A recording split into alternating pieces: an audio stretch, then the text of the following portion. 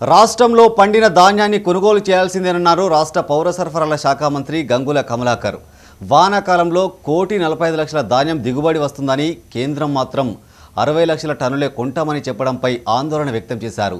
తెలంగాణపై కేంద్రంలో ఉన్న బీజేపీ ప్రభుత్వానికి ఎందుకింత వివక్షని ప్రశ్నించారు? కేంద్ర మంత్రి Kishan Reddy BJP state chief Bandi Sanjay ధాన్యం కొనుగోళ్ళపై చొరవ చూపాలని సూచించారు మంత్రి గంగుల. కరీంనగర్ క్యాంపు ఆఫీసులో రాష్ట్ర మంత్రి గంగుల కమలాకర్ మీడియాతో మాట్లాడారు. ధాన్యం కొనుగోళ్ళలో కేంద్ర ప్రభుత్వం కొరివి పెడుతుందని ఆరోపించారు. తెలంగాణ ప్రభుత్వంతో చేసుకున్న ఒప్పందం ప్రకారం రాష్ట్రంలో పండించిన ధాన్యాన్ని కొనాల్సిందేనని గుర్తు చేశారు. ఈ విషయమై ఢిల్లీలో తాము కేంద్ర మంత్రి పీయూష్ గోయల్ను కలిసి సమస్యను వివరించినట్లు తెలిపారు. యాసంగి ధాన్యాన్ని బాయిల్డ్ రైస్గా చేస్తున్నామని రా రైస్గా చేయడానికి వీలు కాదన్నారు. ఉప్పుడు బియ్యాన్ని తాము కొనుగోలు చేయలేమని కేంద్ర ప్రభుత్వం చెప్పడం సరికాదన్నారు. కేంద్రం కొరివి పెట్టడం వల్ల తెలంగాణ రైతాంగం నష్టపోయే ప్రమాదం ఉందన్నారు. పంజాబ్లో పండిన ధాన్యాన్నంతా కేంద్ర ప్రభుత్వం కొనబోతోందని కేవలం తెలంగాణపైనే కేంద్రం వివక్షత చూపిస్తోందని ఆరోపించారు. ఈ సమావేశంలో mayor Sunil Rao Kothapalli municipal chairman Rudraraju rural MPP Rudraraju కార్పొరేటర్లు పాల్గొన్నారు. మన భారతదేశమే వ్యవసాయ దేశం. వ్యవసాయానికి గత స్వాతంత్రం వచ్చినప్పుడు వచ్చిన అన్ని ప్రభుత్వాలను ప్రయారిటీ వ్యవసాయం మొత్తం కూడా ఒక సామాజిక బాధ్యతగానే చూశారు. ఈ తెలంగాణలో రైతాంగం బతకాలి.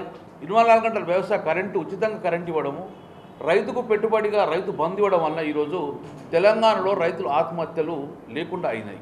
ఈరోజు వీళ్ళ అగ్రిమెంట్ ప్రకారం కొనుగోలు చేస్తాం. మేము ఏమన్నాము మీ ఎంఈఓ ప్రకారం కొన్నాం కాబట్టి పెట్టుబడి పెట్టినాము. మీరు ఎఫ్సిఐ దీని బియ్యం రూపం తీసుకోండి అని చెప్పిన తర్వాత డైరెక్ట్ వాళ్ళు నారు వేసిన తర్వాత జనవరి మాసంలో వాళ్ళు మేము కొనము అనే పరిస్థితి బాయిల్ రైస్ కొనము అని చెప్పి వాడు చెప్పడం జరిగింది. ఇదేదో మేము భిక్షమరుడు కాదు ఇది.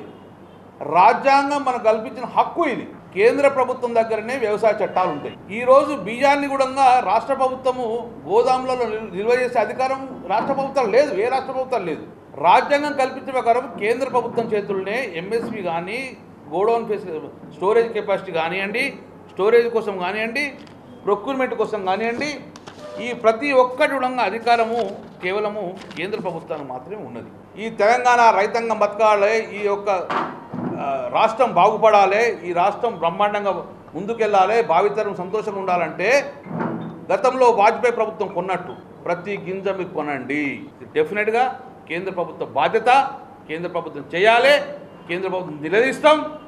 ఈ యొక్క ఇక్కడ ఉన్న మా మంత్రులు కానీ కేంద్ర మంత్రులు కానీ మా ఎంపీలు కానీ కేంద్రంలో బీజేపీ ప్రభుత్వం ఉన్న మీరందరూ కూడా మీరు కేంద్రం మీద ఒత్తిడి తేనండి.